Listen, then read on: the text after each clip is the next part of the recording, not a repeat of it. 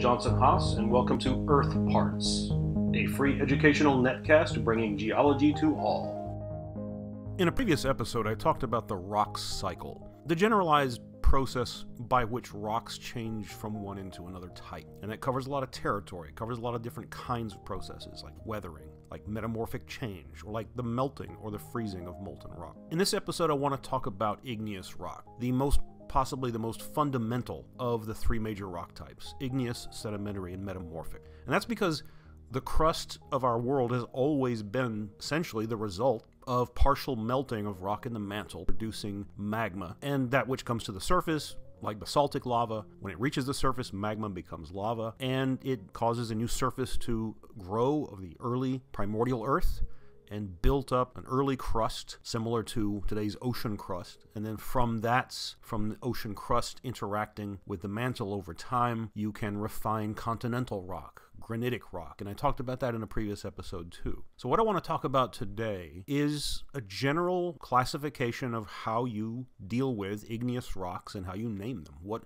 what are they called and how are they different? Because you might say, okay, solidifying rock from magma, how different could it be? But it's as different as the Hawaiian black basaltic lava surface that you see if you go to the national park there. It's as different from that as it is from quartz granite. Granite is also an igneous rock, and it forms under very different conditions, and it's made of very different kinds of silicate minerals. And I want to talk about that. So I'm going to start with some geological vocabulary. If a magma body rises through the crust, and then it freezes in place, that's what we call an intrusive igneous rock. An extrusive igneous rock is anything that's erupting on the surface. And yeah, that includes lava, but it also includes explosive volcanic material that you'd see, for example, during the eruption of Mount St. Helens or Pinatubo. These volcanoes don't erupt flowing magma typically. They erupt rock that is undergoing explosive decompression because it's full of CO2 and water dissolved. And once it reaches near the surface, once it starts to erupt, it's going to just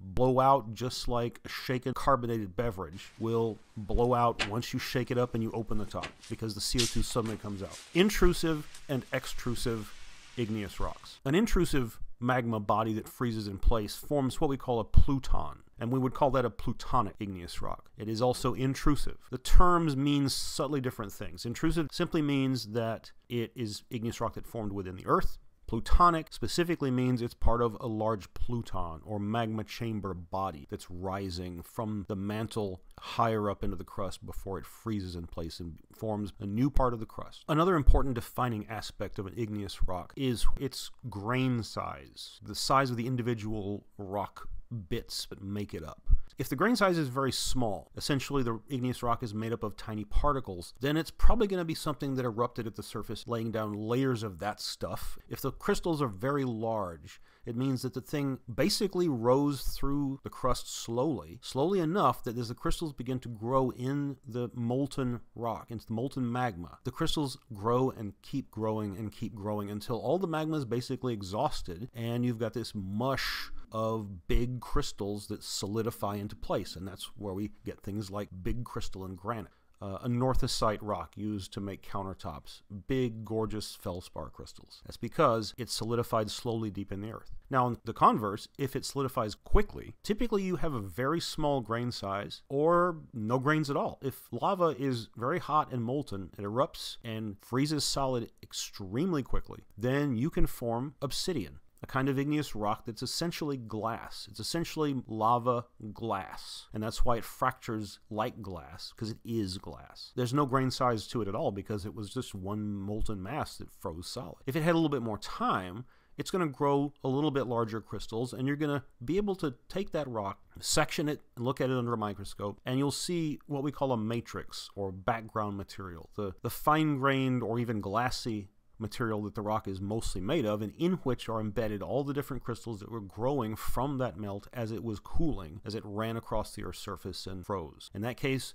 the grain size will be intermediate because you'll you'll get some grains in there that are growing within the cooling magma, and they have time to do that, but then the whole thing stops, so they never get very big. Obsidian has what we call glassy texture because like I said, it is glass. There are all sorts of other ways you can describe the textures of igneous rocks because they can vary quite a bit. Another one is what we call vesicular. The vesicular texture of an igneous rock means that as it cooled and solidified, under whatever conditions it did, but we're usually talking about uh, eruptions of lava onto the surface. And so you can have a, a highly vesicular rock like pumice, which is essentially full of void spaces and, and cavities, which is why it's so light, because it was full of dissolved water vapor, CO2, etc. And that was all bubbling out like crazy as that piece of igneous rock solidified at Earth's surface. Another kind of texture is porphyritic. The rock texture has a fine grained aspect to it. A, most of it is really fine grained, and maybe some small crystals in there. But then you've got these really big crystals that are embedded in this.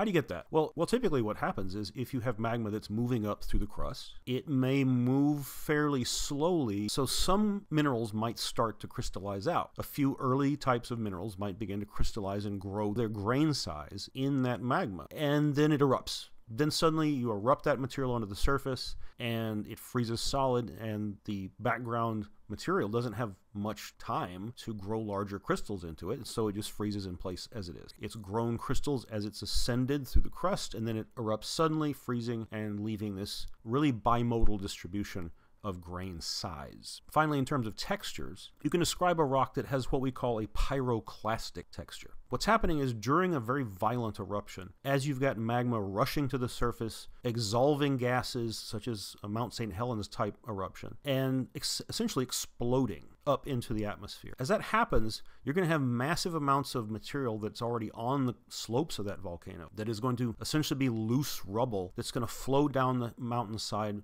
with every new blast of eruption material that falls onto it. And so you can get whole layers of igneous rock, which is essentially fallen from the sky, compacted down, and solidified and hardened over time if you dig it up later after it's been buried for a long time. And the texture will be very distinct. You won't have a rock made of little tiny crystals that grew in liquid. You won't have a rock that's made up of lots of little bits of sand and pebbles and whatnot. You have a rock made of shards. You have a rock made of tiny, broken, shards of shattered rock and rock that essentially froze solid as it flew through the air. Pyroclastic texture is a dead giveaway that you're looking at rock that was laid down during a violent explosive volcanic eruption produced enough material to compact down into layers to make up that rock.